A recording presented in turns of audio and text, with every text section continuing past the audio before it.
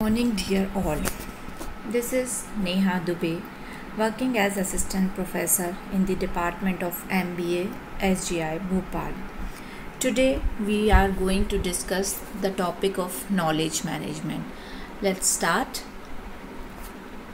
So, what is knowledge management?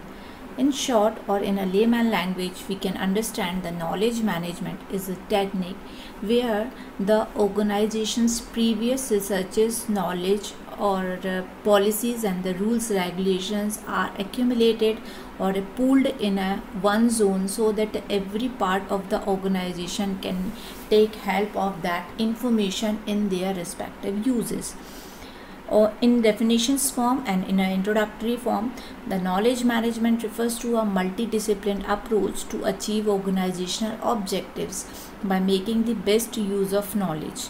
Knowledge management is a process of acquiring generating accumulating and using knowledge for the benefit of organization to enable it to gain a competitive edge for survival growth and prosperity in a globalized competitive economy now the knowledge is of two types. The one is explicit knowledge and the second one is implicit knowledge. So the explicit knowledge is a formal or codified knowledge and the implicit is a informal and the uncodified knowledge. We can define the explicit knowledge like it is a visible for informations available in a literature reports patents and technical specifications communication with the customers suppliers and competitors etc so it can be embedded in a rules system policies and procedures etc of the organizations. And the implicit knowledge is a personal knowledge that is residing in the minds of people as a result of their personal beliefs values perspective and experience there is a need for a learning organization for enhancement sharing and utilization of uh, implicit knowledge. Now some definitions. According to the Horwitch and the Armacost knowledge management is the creation extraction transformation and storage of a correct knowledge and information in order to design better policy modify action and deliver results. Here means the data and the knowledge or information is going to be created extracted and transformed and stored in a correct way so that the information is relevant or it can be helpful for designing the better policy. This can be converted in a better results now, according to the home, KM is the getting the right information to the right people at the right time, helping people create knowledge and sharing and acting on information. Here is the diagrammatic representation of a knowledge management, how the data is converted into the knowledge. First step, through the collecting and organizing way, the data is converted into the information here the summarizing and analyzing are the aspects through which the information is going through. Then, formal, uh, then finally the synthesizing and the decision making which is the information is converted into the knowledge. Now the features of a knowledge management. It is a systematic process because it is standardized procedures to collect, store, distribute and knowledge. If it is not systematized so that the updation is not possible or if updation is not going on in the information so the information is of no use for a current scenario. KM is the continuous process as the world economy is dynamic and full of challenges as i said that if the as per the market and the economy is going to be changes because the scenario is a changing and the dynamic in nature or information is not going to be updated. So the old or the previous information has of no use in current scenario. Maybe then the KM requires the wholehearted support of the top management. Definitely for any process, for any technique, there is a lots of uh, support required from the top management. The objective of a KM is the improvement in organizational performance.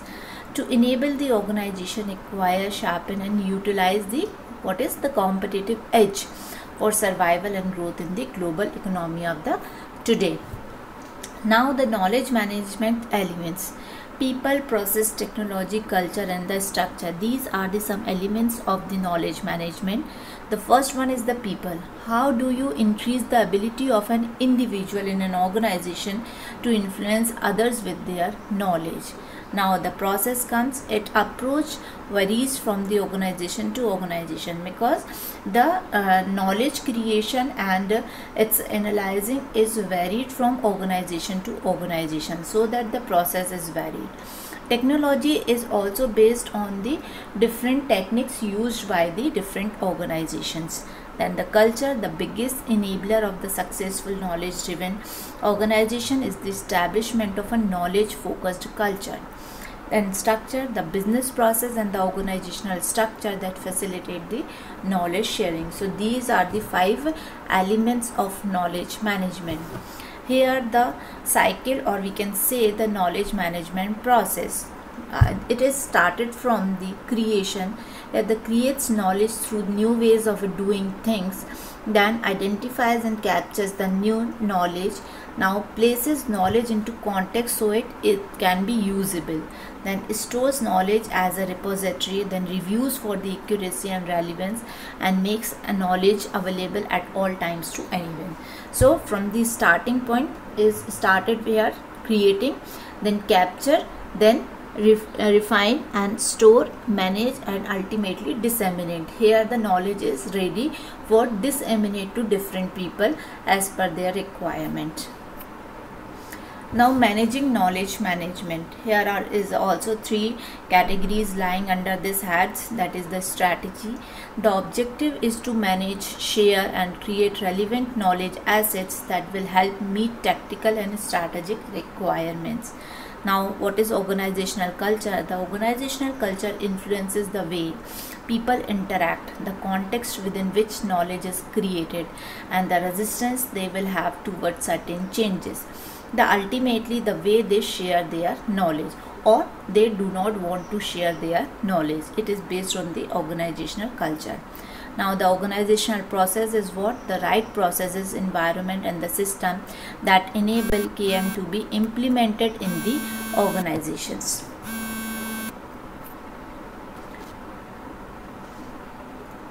Now it is continuation of the previous slide that is the managing knowledge management management and the leadership KM requires competent and the experienced leadership at all levels like knowledge managers and the knowledge brokers and so on so that it can be properly utilized. Then technology, the system tools and technologies that fit the organization's requirements properly designed and implemented and ultimately the politics, the long-term support to implement and sustain initiatives that involve virtually all organizational functions which may be costly to implement both from the perspective of time as well as of the money and which often do not have a directly visible return on the investment. So these are six things are uh, coming under the category of managing knowledge management how knowledge management can be manageable. Now at last the importance of knowledge management. It is helpful for enhancing the productivity of the organization because if the some uh, type of uh, the some sort of a knowledge and the researches or the policies are already developed and which is stored at a data center so that for further if, uh, scenario if the problem comes so that we can help or the employer can take the help of a previous researches so that the time and the cost can automatically be reduced. Then quicker and the better decisions definitely because the time and the cost is going to be reduced with the help of a previous data available and the previous knowledge information available so that it can be better. New products and the services is also helpful for uh, getting the innovations. Business intelligence and the analysis uh, here the business intelligence and analysis is also helpful through the knowledge management. Then now the project management. Project management is going to be uh, analyze the different projects different perspectives through based on the knowledge management and the knowledge stored and the ultimately the customer service. Because ultimately in the market or in the changing environment the customers are the main uh, uh we can say the god. So uh, we have to satisfy them through be, uh, better quality and the better product and services. So this is all about the knowledge management. Thank you. Hope i will uh, able to make you understand the everything about the knowledge management. Thank you. Have a nice day. Good morning